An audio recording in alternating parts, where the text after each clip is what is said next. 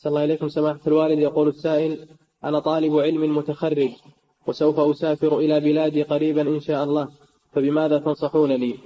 بتقوى الله سبحانه وتعالى الدعوة إلى الله في بلادك وتعليم الناس مما علمك الله تنشر الخير. فلولا نفر من كل فرقة منهم طائفة ليتفقهوا في الدين ولينذروا قومهم إذا رجعوا إليهم أن ترجع إلى بلادك إن شاء الله تدعو إلى الله وتدرسهم التوحيد والعقيدة الصحيحة تنشر الخير هنا. نعم.